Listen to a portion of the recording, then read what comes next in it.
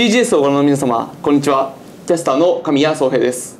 本日もじっくり学ぼう日本近現代史倉山光先生とともにお送りしたいと思います。先生よろしくお願いいたします。よろしくお願いします。第8週第4話に入ってまいります。三国干渉から日英同盟白人の陰謀と戦った日本というテーマで本日お送りしていきます。まず前回のおさらいになるんですが、えー日清戦争で勝った日本、えー下関条約を結びましたというところまでやりました、そうですね、はい。まあボロ勝ちしたわけですね、はいでこれであのムツさんが取りすぎたから三国干渉で、あのレオトン半島を取り上げられたじゃないかみたいな、まあ反活が勝手なこと言ってますが、はい。もうロシアはもうアジアの方目を向けてんだから、はい。干渉してくるに決まってると、ん。あだから最初からもう多めに新国に要求して取り上げられることを見越してんだと、はい。でついでに言うと取り上げられたレオトン半島は全部賠償金に変えたと、はい、うん、いうことなんですね。なるほど。え。でそれで取り上げる方法としてやってきたのが有名な三国干そう渉だとですね。ロイロシアフランスのロフツ同盟にはい。なぜかドイツがやってきたと、はい。でこの時の言い草がですね、はい。えー日本の友人として勧告する 伝統半島を新国に返した方がいいよ。それが極東平和のためだ。世界平和のためだ。みたいな。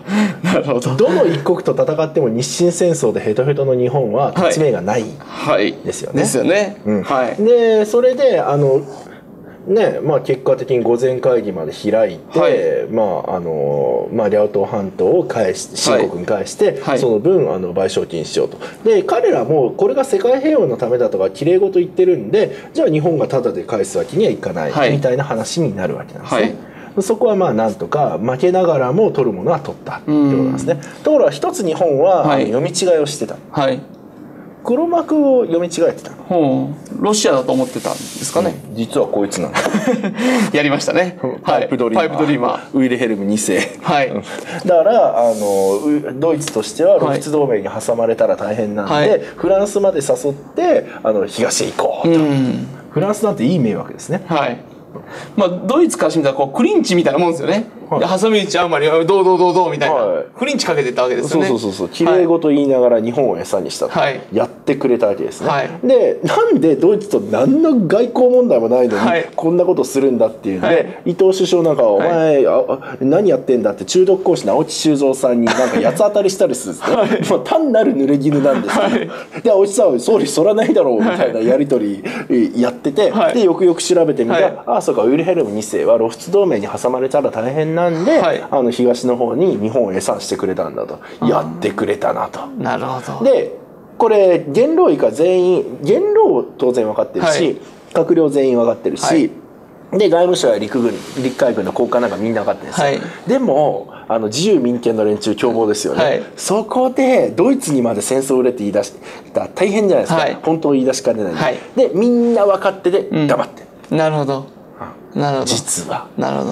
うんだからまあロシアが黒幕だっていうふうに表向きつつドイツ今に見てろと、うん。まあここで我慢するわけですね。なるほどね。そうこの時「臥薪嘗胆」っていう言葉が生まれてると、だからこの時に取った賠償金で、はい。まあ、富国強兵もう一回やり直そうと、はい。うんロシアに対抗できるようなもう軍事力経済力つけようというふうに頑張るわけですね。なるほど。なんか本当にこうやって歴史を学ぶとですね当時のこの政治家の非常に微妙な、しかもまあなんていうかな国益を考えた判断っていうのに頭が下がりますよね。そうそうだから今で言うとアメリカと中国を同時に敵に回せないから一国ずつやろうとか、はい。まあ、そういう感じまず力をつけようと。そうそうそういうことですよね、ですから本当に今も我々私たちも一般大衆として考えればテレビとかメディアに踊らされずにね、自分たちで国際情勢なんかもちゃんと見て、ああなるほど政府はちゃんとやってるなとか、まあ、逆に政府ちょっとダメだよねっていうようなことも見抜くぐらいの、そういうこう賢い国民になっていかないとなかなか民主主義の国の運営は難しいぞということなのかもしれませんね。今のエリートがこの当時で言うとロシアべったりになったりドイツべったりになるような状況ですよね、今だと。そうですね。ロビーになっちゃってますよね。そうそうそうそう、うん。両方もうロシア次にドイツを潰すと、はいいうことをもう決意してるわけですよ元老たちは。なるほど。はい。でそれで「世界平和だ」とかきれい事言いながら、はい、言いながら、えー秦はえー分割されていくと。はい。まあ、眠れる豚だということがバレてしまったんで, でまずどれくらい豚かっていうとですね、李光章っていう秦国の最高権力者の一人がはい。賄賂もらってはい。国を売り飛ばしちゃう、ロシアに。ロシアに、はい。はい。で、まあ、ロシア、まあ、両東半島の、はい。まあ、要衝の、はい。まあ、両順大連っていう、うん。ここを抑えられたら航海の制海権取れないみたいはい。なところを取っちゃうわけですね、はい。でドイツフランスイギリスは、まあ、ハイエナのごとくはい。やってくるわけですよ、はい。あちなみにあのイタリアだけはあの断られました秦国に。あそうですか。よこせって言われてお前には勝てるって言われて。あれでもイタリアってなんか三国干渉の時日本に応援をなんか申くし出たれたんですよ実は、はい。はい。あのイタリアだけは味方になってくれて、はい。にこれは日本は悪くない、はい。三国が悪いとはい。いうことで、あの東洋に艦隊を派遣するみたいなことを言ってくれたんですが、はい。丁重にお断りしました そそのじゃ勝てないですもんね。そう昭和だったら乗りますからねこれ うん。ああそうかそうですね昭和の乗っ。ちゃいますからねホイホイ、ん平気で。うん、いや当時高平小五郎ってイタリア公使がはい。丁重にお断りして、うん。申し訳ないですけれどもちょっとイタリアさんごめんなさいと、うちもうヘタレなんです とは言いませんでしたがね。なるほど。アメリカはえー門解放。はい、もう思いっきりあの出遅れてるんで綺麗事言うわけですよ、はい。やー中国大陸に自由市場みたいな。何言ってんだって。でこれ言わしたのが現地のイギリス商人っていうですね。なるほど。まあイギリスの売国度ですね、うん。まあ、ロシアが入り込みすぎてるんで、はい。みたいなことがあるんですがでも南だからあんまり関係ないですけどね、うん。で一番どうしよう清朝以上にどうしようもないのが朝鮮、朝鮮はい。国王がロシア公使館に逃げ込んじゃいます。え1年間も。え大院君とビンが争ってる時ですか、はい。まだ？そうですね、まあ、はい。その派閥が延々あ派閥が。延々殺し合いやってて終わらないんですよ、うん。で怖いよって言ってではい。秦国頼りないな、うんロシア公使館に逃げよう。ここなら安全だ、つまり身内に殺されるかもしれないから、はい。ロシア公使館に逃げとこうと。うん、それで列強も怖いし、はい。いな。なるほど。国王自ら売国度ってもうじゃああのしシンすら見捨ててロシアに寝返ったみたいな。あジャイアン実は弱いじゃんみたいな あ別に乗り換えようみたいな なるほど。に日本の方には頼ってこなかったんですか？来ない朝鮮の法則っていうのがあって、はいあの日本に頼るのは真人間そして殺されるああ、あとでね。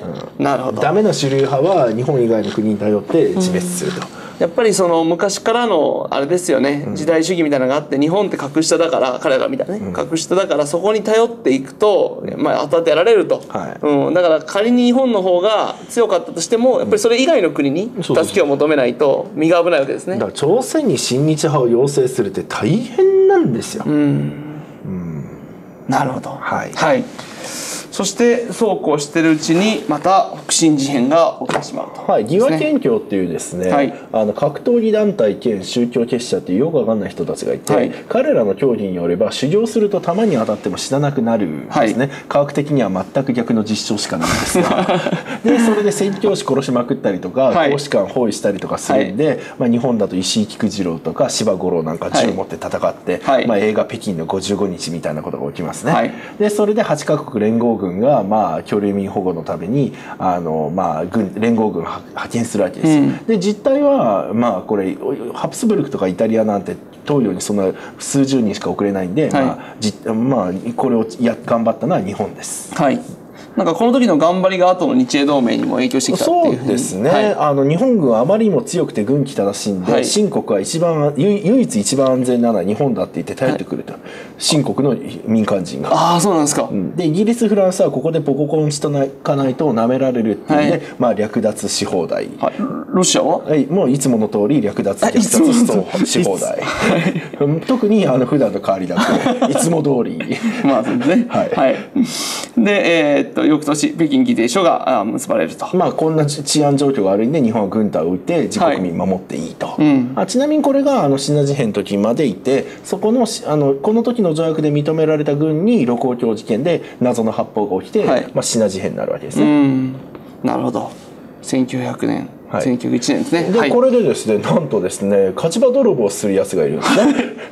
それがロシアだと。はい、満州に居座っちゃう。まさしくあの先生がおっしゃったロシアの法則ですね。相手が弱くなったらとことん行くみたいな。そうそう、まあ、はい。火事場泥棒をする時は主権国家の1個分以上奪い取るみたいな、あもうフランスとドイツを足した領域ですからねはい。満州って。はい。はい。でまあ第二次ロシン密約、まあ、こっちの方が俗にロシン密約と言われますけれどもこの時のあの秘密条約がですね。今でいうと日米安保条約と地域協定を足したような内容なんです。あー相当がっちりした。がっちりとはい、内容細かいでことまで決まっていて、ははい。いまあ、要するにロシアがまあ清に居座って、ん。誰がどう見ても清がロシアに国を売ったなと。はい。だってあの満清国って、はい。満州人が漢民族を基本併合してできてる国なわけですよ。そうですね。ヌルハチですもんね。そうそうそうはい。でそれであの漢民族がまた反乱を起こしてあの万里の長城の中にいられない時にはい。帰る場所なんですよ、そうですね。満州。帰る場所なくなっちゃった。満州人が絶滅していく短所ですよこれ。ああなるほど。もう本当にもう末期ですね。清朝末期。ちなみに李光省っていうのは漢民族ですね、はい。はい。なので満州人がどうなろうが知ったこっちゃないと。あそうか、はい。そうですね。李光省は漢民族か、ああそうです。なるほどなるほど、まあまあまあそうあ李光省からしたらそうかもしれませんね、知ったこっちゃないって。自分さえ良ければそれでよしみたいな。まあまあ売っちゃう人ですもんね、はい。国をね。えはい。でまあ日本イギリスアメリカ まずいなと。まずいなと。まあはっきり言ってアメリカなんてお呼びじゃないんですが、はい。まあ、特にイギリスですね。はい。でこういう状況の中、まあ、さっきの北進事変そして、まあ、ロシアの満州進出を踏まえて、ついに日英同盟が締結されると。はい、はい。ようやく。はい。大英帝国が、まあ、公営ある孤立とか公益ある孤立って言われますけど、これを捨てちゃうわけですね、まあ同盟なんて煩わしいものはいらないって100年やってたイギリスが、はい。なんと、まあ、東アジアの問題限定とはいえ日本と正式に同盟条約を結ぶと。はいいうことなんですね。でここだけ見たらそのロシアが南下してるんで日本を極東の憲兵番犬として使ったみたいに言われるんですが、はい。ちょっとあの本当の第1週から思い出してほしいんですけれども、はい。まあ、世界史というのは実は19世紀以降イギリスとロシアの,、まあ、あの世界の覇権構想で巡って争っていてでトルコペルシャインドそして清国と西に向か西にとロシアは南下したいよという争いをしていたと。で全てでロシアは海に出るのをイギリスが阻まれていて清国までやってきたと、はい。で凍らない港をやっと手に入れたと、はい。でシベリア鉄道であの、まあ、直接行けると、ん。イギリスとしては一番近いのでこの地域だと香港だ、はい。どうやってロシアの南下を阻止しよう、うん、自分でやるの大変だから日本で時間稼ぎしようかと。うん。いうことなんですね、なるほど、うん、まあ、日本もそれはあえて分かって組んでるんですよね。もちろん、というかまあそれでもいいから組んでくれないとロシアとなんか対抗できない、はい。とてもじゃないけど対抗できない、ん。なんですね。で幕末以来結局ようやくここに来て、まあ、振り向かせたわけですよ、はい。日本としてはロシアと組むわけにいかないし、はい。イギリスとしては日本と組むしかないのに、はい。ずっと清の方ばっかり見てて、はい。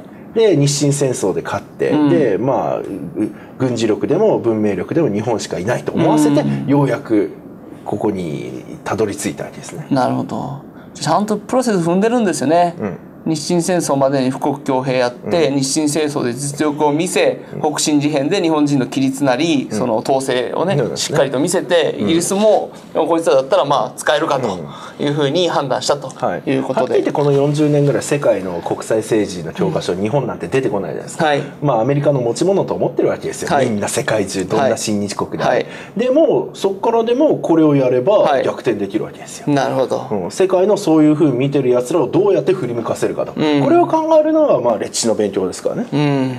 素晴らしい、はい。グランドストラテジーですね。そうです。はい、はい。でその当時の内閣だけ少し確認しておきましょう。今で見ると桂小村それが後に総理になった山本清浦っていうのぐらいは知ってるでしょうけれど、はい。当時からあのえ元老が一人もいないと。はい。言論を抜けてますね、うん、それであのに二流内閣とか、はい。まあ時間内閣とか大臣になる器じゃないじ時間の連中が作った内閣だみたいに言われるんですが、はい。なんとこの人たち、はい。できた時はす相当不評だったのがすでに日英同盟今日でやってますもんね、はい。うん。すごいんですよ。すごい、こういう人たちが中心となってついに日露戦争にあ間違えました。すみません、日露戦争に突入していくと。興奮しすぎです。はい、すいません。もう特に好きなところなので次回日露戦争全日本人必見と栄光の歴史日本の素晴らしい歴史を学んでいきたいと思います。先生今日もありがとうございました。番組からのお願いがあります。CGS ではボランティアキャスターをこの度募集していきたいと考えています。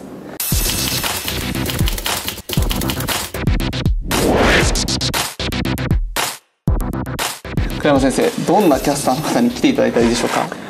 いやーもう本当にもう我々の代わりができるような、はい。まあ明日のねあの、ネット論壇を担うような、はい。はい。ネット限定にする必要も特にないんですが。ハードル上げましたね。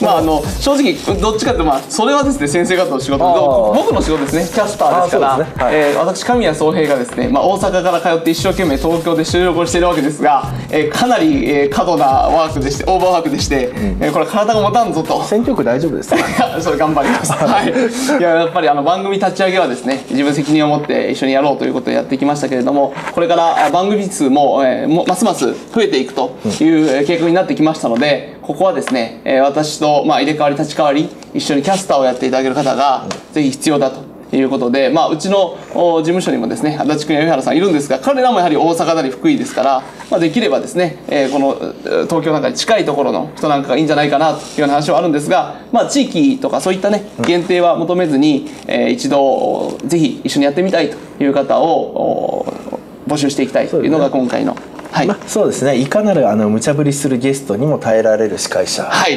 ですね、あの相当もまれます。はい。